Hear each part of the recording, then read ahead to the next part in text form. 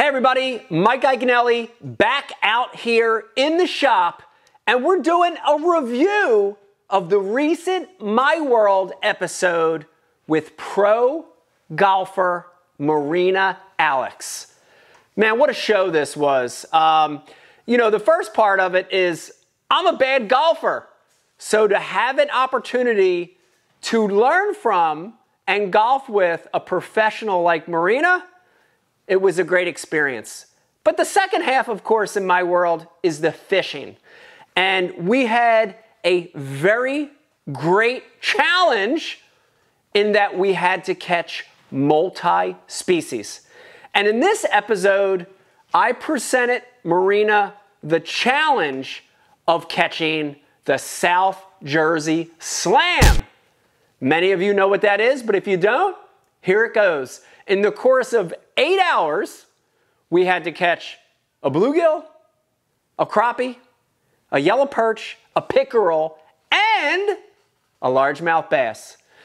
You know, that's a pretty big task, um, especially considering some of the conditions we were faced with. This was a late summer pattern, and on top of that, we had a major storm approaching. So things were things were a challenge. But you know, when you break that up, it was sort of a two-pronged approach. We had bluegill, crappie, and yellow perch. We were going to fish for those species one way, and then we had pickerel and bass, and we were going to fish for those species a different way. Um, I want to start with the panfish and the perch, right, and the crappie.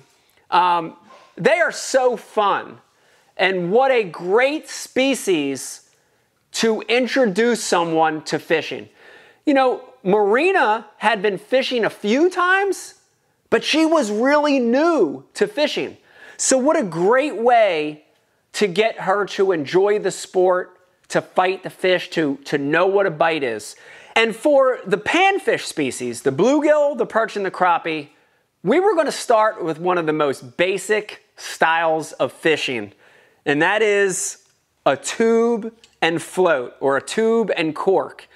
And, you know, Marina had been fishing a few times, but she's sort of new to it.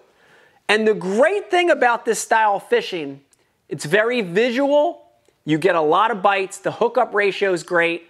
And that thing catches everything that swims. So let me start with the bait.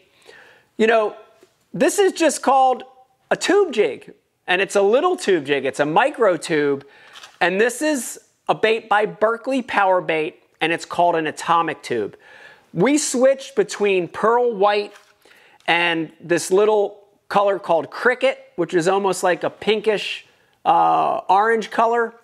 And the great thing about these little atomic tubes is they can imitate a lot of different forage. That could be a little minnow, that could be a little grass shrimp, a little crawfish, a little nymph, a little larva. These things don't weigh a lot, right? They're a 32nd of an ounce, a 16th of an ounce, but they have tremendous action in the water because of that little serrated cut tube tail, right?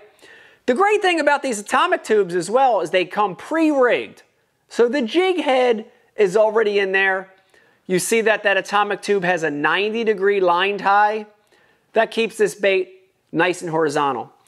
And basically all we did is we put it under a float or under a cork, right? And I keep it real simple. Um, this is what I would call a nickel or a quarter size styrofoam weighted float that helps a little bit with casting. And then leader length is real important. And I like to keep it just above the bottom or just above the cover. And, you know, we were targeting brush piles, pieces of wood. So depending on how deep that wood was, I can just slide that cork up or slide that cork down in a shallower water setting. And, you know, basically we were casting to these targets and letting that tube do its own thing. Think about that cork. You know, the great thing about the cork is when you have wave action, which we did. Remember, there was a big storm coming. when you have that wave action, the cork actually imparts the action, right? So you just kind of sit back and you watch that cork.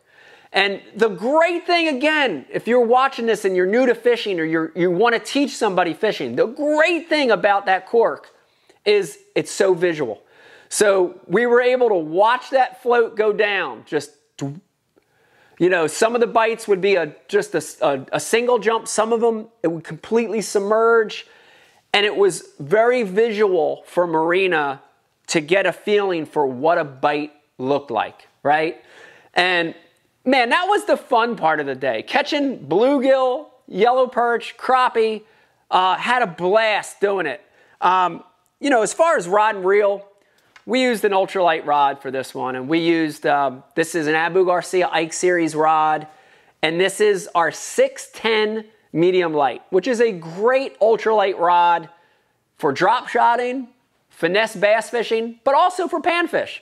Uh, we paired that with um, a Revo X Abu Garcia reel in the 10 size. This is a little bit smaller reel, and we had straight six pound fluorocarbon.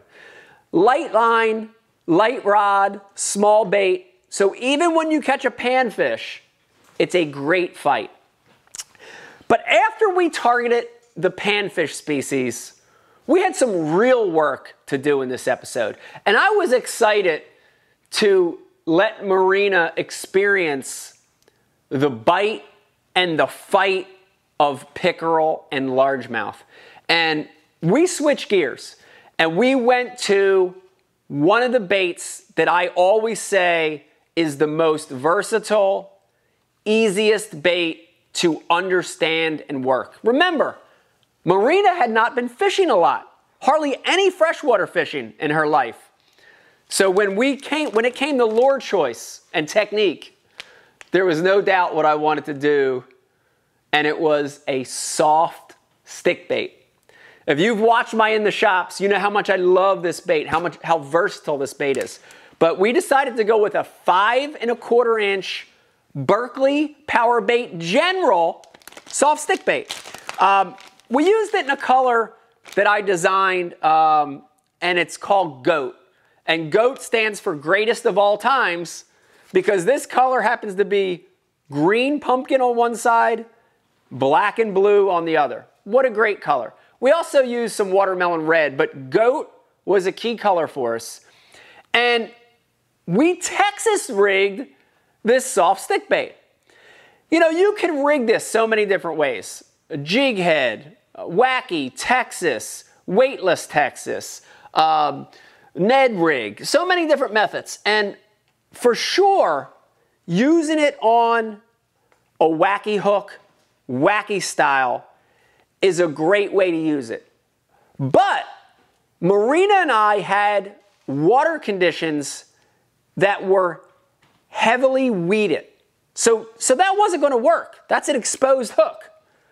So instead, we decided to rig this weightless Texas on a 4-aught heavy duty VMC worm hook, okay? And Man, the great thing about a soft stick bait is it's so easy to Texas rig. We, we get on that fat end, we're gonna go down into the nose of that bait about an eighth of an inch. We pull it out, we're gonna go and pull that bait all the way around the bend of that hook. Right? Look, when we do that, now we're just gonna we're just gonna rig that bait nice and straight, right? And I'll push that hook through a couple times to get it working. But when you look at it, look at how, look at how simple that is. It's a Texas rigged Berkley Power Bait General, Texas rigged soft stick bait. And the great thing about this lure is even though it's not wacky rigged, you ready for this? As it falls, it still has that wacky rigged soft stick bait shimmy that really drives them nuts. The other great thing about a weightless soft stick bait is you can fish it different on every single cast. So Marina and I had times when we were fishing over slop. And when we were fishing over slop, I told her just keep it reeling, you know, working on the top. When you get to the edge of the slop, kill it. We were working in lily pads. So when you were over lily pads, pop it on top. When you get to a hole, kill it. And we also worked it in open water where we could cast out and really fish it much slower toward the bottom. So versatility with that soft stick bait, especially rigged weightless Texas, is unbelievable. And we were able to catch some really, really nice pickerel and largemouth bass on that bait right there. Um, you know, when we decided for rod and reel with this one, we went a little bigger and we stepped up in rod and reel and we used a longer rod. And that was for long casts were really important. And this is the Abu Garcia um, Ike series rod, the finesse rod, 7-6 medium heavy. So a little bit heavier rod to help get them out of the slop. We paired that with an Abu Garcia Revo Ike spinning reel. That's in the 30 size.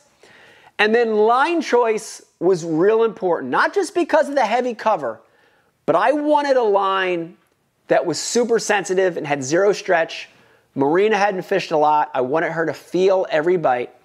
And we went with um, braided line, and this is 10 pound Berkley X5 braid in the green color to a short leader, I would say, what's that, about two foot leader of Berkley Trilene 100% fluorocarbon in the 10 pound size, right? And the reason I like that little fluorocarbon leader is in clear water, we had cleaner water, fish don't see fluorocarbon. It's invisible to them. So I'm not worried about them being line shy. The other thing that little short leader of fluorocarbon does is it gives this soft stick bait maximum action, right? And we talked about that shimmy and that shake. If I tie direct to braid, it doesn't shake the same. Fluorocarbon is dense, it's heavy, it sinks, and a dense line gives your bait better action. So that, that rod and reel line combo was key on that soft stick bait. Um, man, I hope you really enjoyed this episode of My World with pro golfer Marina Alex. I had a great time. We caught a lot of fish, and I hope you had fun watching it. Man, if you like the show My World, if you like these, these tips, if you like these techniques we're giving you from the shows, do me a favor. Stop, hit the subscribe button, become a subscriber to my channel. We're going to get you hardcore fishing information every single week right here on Mike Iaconelli Fishing. Uh, see you later. Hope you had a good time watching it. We'll see you next time.